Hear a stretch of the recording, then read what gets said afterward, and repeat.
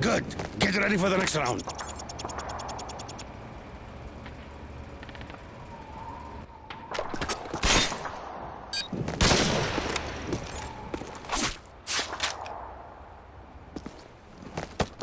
Time.